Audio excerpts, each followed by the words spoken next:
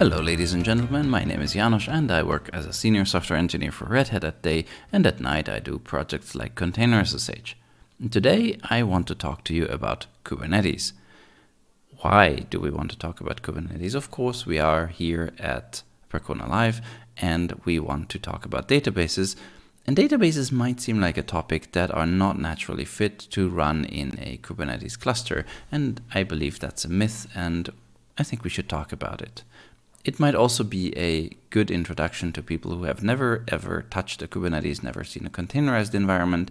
This talk will give you an overview of what you can and what you can't do with Kubernetes. So let's start with a very good example, a database. As you can see, this looks like a database, and these databases typically run on some sort of a server. You might run on your laptop as well, but in this case, it's going to be a server. This might be a physical machine or might be a virtual machine as we see later. To us, what's important is what happens when this machine goes down. And we have to differentiate between different types of outages. One outage might be that the cleaning person entering the data center pulls the plug on the machine and it just simply stops working. What do we do? We go there, we plug in the power cable, and everything's back up again. We had an outage, but there's nothing critical. The other kind of outage can happen when um, the server itself has some sort of a damage. So, for example, the disk fails. Of course, you could put in RAID, but RAID controllers also fail, and I have seen a fair number of scenarios when the RAID controller didn't protect from data loss. So that's why you have your backups. Um, I've also seen scenarios where the database engine itself had some problem. For example, the, the disk got full and then the database engine couldn't properly recover from that or the file system had a problem, etc. So there might be failures which are beyond physical hardware. And this is why you, of course, have backups. But with backups, the problem is it takes time to restore them. So when you restore a backup, then you have to calculate, okay, how much time does it take to transfer all this data back from my backup storage? How much time does it take to import all this data? Is it going to be enough for the business side of things? And you know this better than I do, probably. So what we often do is we create replicas, create more machines. And then when we create these replicas, we have, of course, replication. And that's usually done as a um, as a method, for example, you can do either binary replication where you just copy the data that has been changed, or you can do log replication where the transactions that have been run on one database server are then executed on the other database servers as well. And then, of course, you have synchronous and asynchronous replication and all these fancy things, which is wonderful. It's, it's really wonderful because this enables us to take out one server for maintenance and then we can just have the application run against the other servers. Let me ask you this though. What happens if, if any of these servers go down in terms of data loss, so the server is completely lost, of course your application is going to stay up. But what you'll end up doing is reinstalling the server, which is going to take time. And if you're using this method as a means of keeping your job, I have some bad news for you. There's this thing called cloud, and they have this thing called database as a service. So at some point, your company is going to decide that you're too expensive and reinstalling the database all the time is probably not worth your time or is not worth the money they're paying you. So this is not exactly job security. What many companies do to prevent loss of data as much as possible is in, install a very expensive enterprise grade storage with something like fiber channel uh, hardware connected to the physical machine. So one could, for example, then do things like uh, when one host fails, attach over this fiber channel network, attach the virtual disk that's on the storage to um, to a different server, or what many companies do is in, put in some very expensive enterprise grade virtualization, such as VMware or Red Hat virtualization or something like that. And I'm not dishing out on virtualization as an expensive platform. Kubernetes can be just as expensive, so don't worry, your enterprise friends are going to have their own solution here. What virtualization enables you to do is, for example, when one physical machine fails, for example, the power goes out, then the virtualization platform can transparently move it over to a different physical host that's for example in a different rack or on a different power supply or something like that so you can ensure a fairly high uh, availability with this and then of course the enterprise grade storage itself is also going to be replicated so you don't lose all your data if the storage goes down or if there's a fire in one section of your data center or something like that. One problem with creating a replicated setup, however, is the question of the application, because you as a DBA could reasonably assume that application developers should really add support for using multiple database servers in their application, but in practice that is often not the case. So what we end up doing is adding a very expensive enterprise grade load balancer in front of our setup and this load balancer is then going to decide where to send the traffic. It depends on, on your database engine, of course, because in with some replication scenarios, you only want to send the writes to the primary database server, and the secondary database servers that have a replicated copy only serve reads. So there are some load balancers that support that. You can also build this uh, in a do-it-yourself fashion with HA proxy, etc. So there are many, many solutions here that you can pick. But again, these are things that you will need to evaluate. Let's take a look at what happens when you want to pull out a server for maintenance. Of course, what you do is you configure your load balancer to not serve one of the servers. So take that out of a rotation, then you upgrade the server, and then you put it back into the rotation.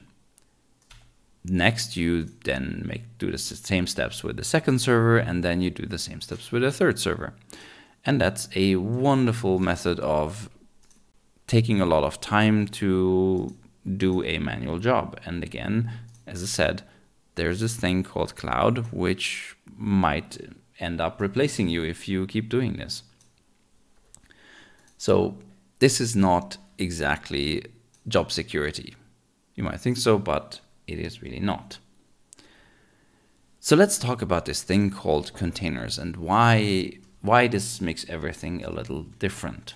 Let's start with something very simple. How are containers built? A container image, and I'm making this distinction deliberately, there is a difference between a container and a container image.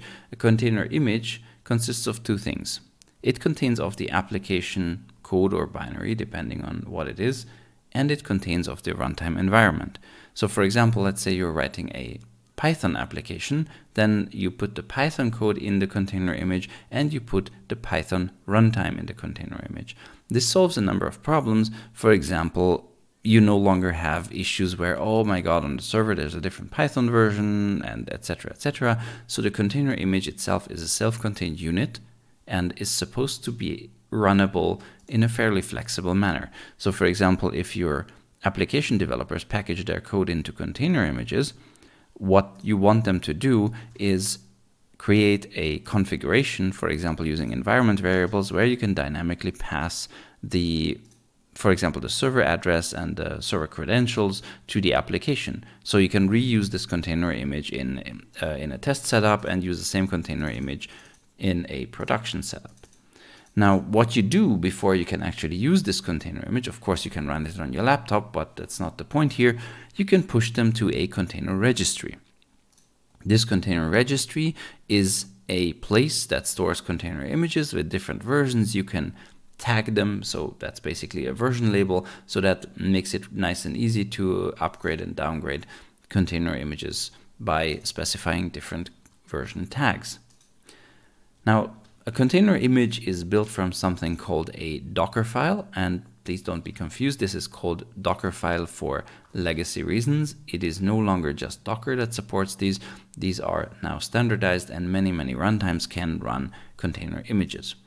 Let's take a look what things this can contain. For example, this image here, which is from my project Container SSH, is built from Alpine Linux. So it takes a base image, that's called Alpine Linux. You can of course build an image from scratch that is completely empty and you can put in whatever you want. Then we run this command. This is adding a package to, to this container image and we're copying in some files and running some commands, etc, etc. So this is a recipe for creating a container image. And this recipe can be used to build the container image itself. And that's very important because this is reproducible. So anyone can take this file and recreate the container image, hopefully, if you've done it right, on their own machine. This enables you to standardize things. So instead of manually installing MySQL and then putting in the configuration and whatnot, a container image enables you to standardize that process and check it into a Git repository. So let's see what happens in production. What happens here is the production server has access to the container registry and it can pull the container image and this container image serves as a basis for creating the actual container. And the actual container is a copy of this container image. So every time you start a new container, it's going to start fresh from the container image. And that's on purpose. Now, this is of course doesn't this of course doesn't mean that you cannot save data. You can when you start a container mount a certain folder, for example your MySQL data directory into the container and that is then preserved. So when you upgrade MySQL, you pull a new version of the container image and um, then you use the new version to run it on the same data directory and hopefully then your uh, your container, or MySQL in this case, will upgrade the data directory to the new version. This is also very nice because it allows you to really reuse container images in many environments. You could use the MySQL container uh, in, in testing, in production, on some sort of a staging environment. You only have to build it once if you do it right. Um, this is of course also true for, for application developers. They can also mount folders and store data directly on the disk, but of course you want to keep your job, so it's better to tell them to run it in a database. Now, what's this Kubernetes thing then? Kubernetes is something that manages many, many servers. Containers themselves are manual things. So if you use Docker or directly in Containerd or some other platform such as Podman, then what happens is you go onto a server and on that server you tell the server to pull the image, to run this container, etc. That's a manual process. Kubernetes orchestrates that across many, many servers. So that's the purpose of an orchestrator. And there are, of course, other orchestrators such as Docker Swarm. They used, I don't know if Mesos is still around, etc. Kubernetes itself is built of many, many components. And these are mostly uninteresting to you because you're not going to be the one administering the database. But let's talk about them briefly. So the Kube API server is something that you can contact from your laptop using a utility call, called kubectl or kubectl as they often call it, and you can give it instructions. These instructions can be, hey, here's a YAML manifest of containers to run or things like that. You will see some later in this talk. The kube scheduler is responsible for scheduling, take, basically deciding where each container is running, etc. And you can use this not just for running persistent containers such as your database, but you can also use this as running batch jobs. You can you can tell it, hey, run this container once, and in this container then you put a a script that runs a backup or something like that. And then there's the Kube Controller Manager that does all the controlling and managing. Let's not go into details. And there's, of course, more stuff like cloud integration, storage integration, and so on and so forth. We'll talk about some of that in a minute. What's important to us is this little component called kubelet. This kubelet is the thing that's running on the actual worker machines. So you run it on the worker machine and it plugs a server into the Kubernetes cluster and kubelet talks to the container runtime and tells it, hey, dear container runtime, I've gotten the instruction to run this, uh, this container. Please make it so. So let's take a look at these kubelets slash the worker machines a little more in detail. Let's say we are running a database on one of these workers. This database stores some data on the disk of the worker. Um, this is called host path we'll talk about why that's a bad idea right now. So what happens if this machine falls over? Of course, the data is again gone, so that problem is not solved. There is no Kubernetes magic that automatically transfers the data to a different server. That is not the job of Kubernetes. Kubernetes will restart the database on a different worker, but the data is of course not going to be there. What you can do is, you enterprise fans out there are going to be very happy about this, plug in your very expensive enterprise grade storage into your Kubernetes cluster, and that will have a number of benefits. So if you then move your database around from one server to another, your data is preserved. And Kubernetes takes care of mounting the volume that you created on your very expensive enterprise storage to the different workers. So you no longer have to go there and mount it manually and things like that. Now in Kubernetes, the disk allocation is done through persistent volumes and persistent volume claims. And the persistent volume part can be created separately. The idea is to separate the requests from a pod. So let's say you are a database administrator. You would create a pod that's running the database. That's the pod is something that can run one or more containers. And then you create a persistent volume claim. Let's say you are going to say you want 80 gigabytes of disk. And then you don't care how that 80 gigabytes of disk is then presented because that is the job of the Kubernetes administrator. So the Kubernetes administrator might then go there and create a persistent volume manually. Or if they have integrated their very expensive enterprise storage with an API, then Kubernetes can automatically create you a persistent volume. And that is a good thing because you can specify certain details of what you want from this storage. Do you want to write it from only one server? Do you want to write it from multiple servers at the same time? Uh, what kind of size you want, etc., etc. So you are decoupled from having to create these disks on your own because either your administrator will take care of it or your integration will take care of it. Your job is only to create the persistent volume claim. So this is how it looks like. We create a persistent volume claim, and this persistent volume claim then has a bunch of details. Um, for example, it has a spec for resources, so we're requesting 80 gigabytes of disk here, um, and then we have access modes, and there are a bunch of other parameters. And the metadata name is very important here. If we want to create a persistent volume, this is how we can do it. This one is of course on NFS, which is a really bad idea if you're running a database. But let's say you want to do this and you can create a persistent volume with a specified capacity on an NFS server and that's going to then take that directory and expose it to your persistent volume claim. So when you start your pod, then you can uh, rely on the disk space being there. Then you can of course create a pod. This one is for example for starting a MySQL server with a bunch of parameters such as ports and most importantly to us volume mounts and as you can see what we did there is we referenced the persistent volume claim and told uh, Kubernetes that our pod should use this persistent volume claim and then a little bit further up we tell the container to use this persistent volume claim as varlib mysql inside the container. Now, let's talk a little bit about the load balancer side of things because we have these pods, we have a wonderful little storage that's hopefully provisioning things automatically, everything's fine and dandy, but we still want to create load balancers. And load balancers are created as services inside of Kubernetes. Services are the general concept of I want to expose something that may have one or more pods behind it and not just pods as we will see.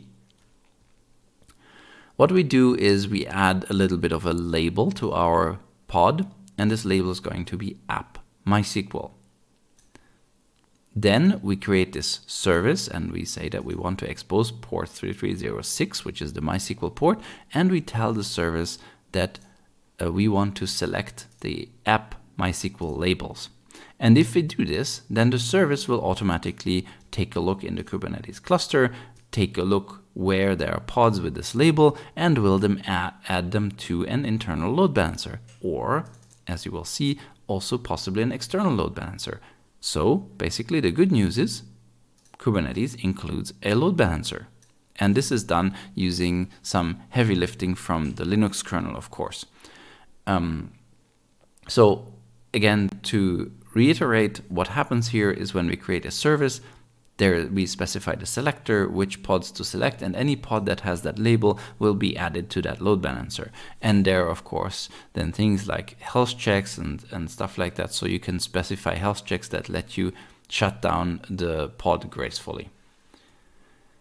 Now, again, talking about our wonderful little pods, what can we do? Because we have created these pods manually so far. So what we want to do is instead of creating each pod manually, which is again a nice way to create unnecessary busy work, is we want to create these pods automatically from some sort of a template, some sort of a definition. This is especially useful when we want to do replication. What we can do here is something called a replica set. A replica set is something that can run a number of copies of the same pod template. So we basically specify our YAML, how we want it, and the replica set will take care of starting a number of pods. But of course, replica sets are not the only thing we can do. Let's think about maintenance. What, is, what happens if we want to update our pods? And that's where deployments come in.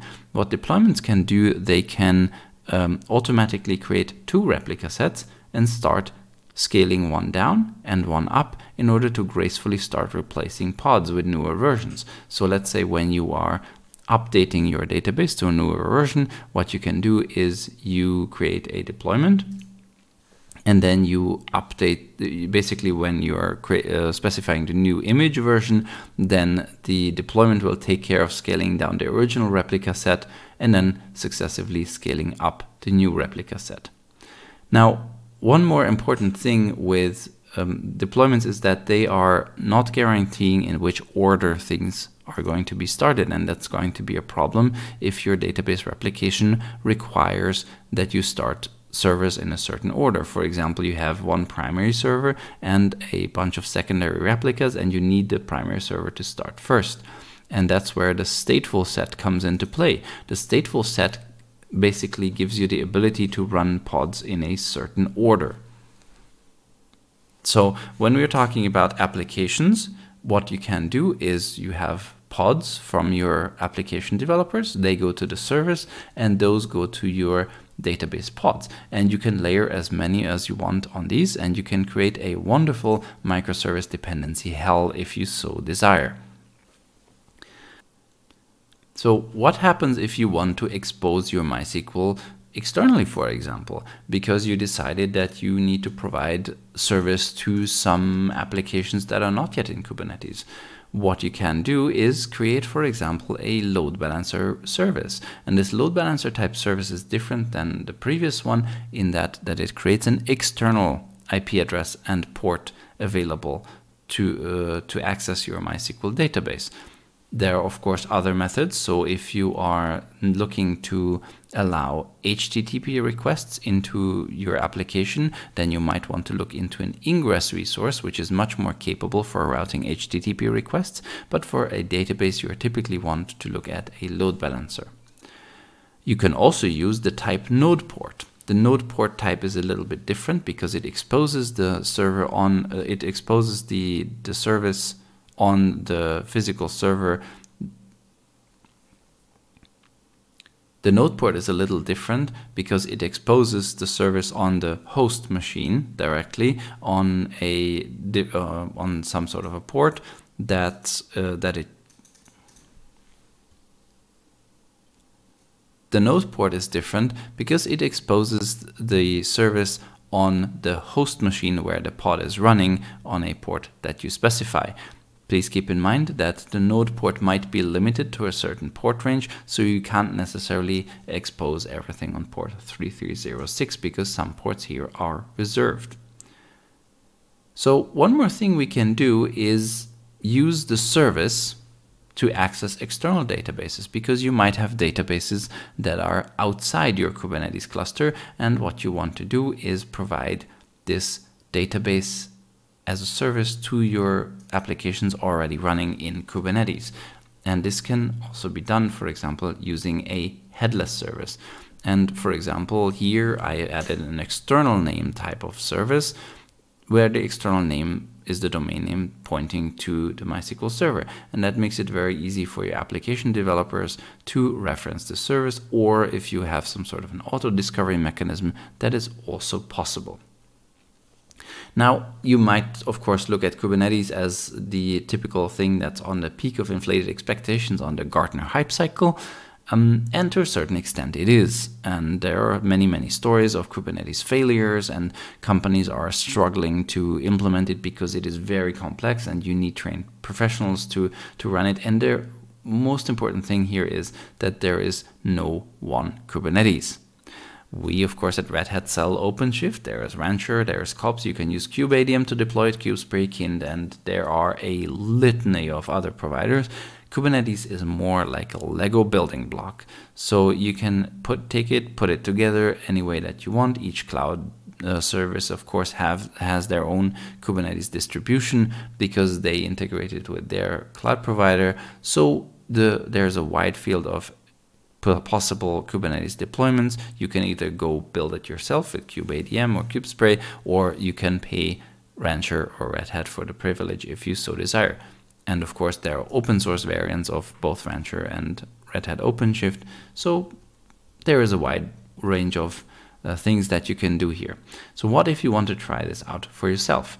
Of course, you can use the Docker desktop, which is a wonderful Kubernetes distribution for just playing around. Or if you're running on a Linux machine, I can highly recommend K3S. K3S is from the wonderful folks over at Rancher, and it is a miniature Kubernetes distribution. And it really is just this much to install. You run this little script you download from their website, and in about 30 seconds, you will have a working Kubernetes cluster. And that's all I have for you. Thank you for listening. And if you have any questions, I would be happy to answer them.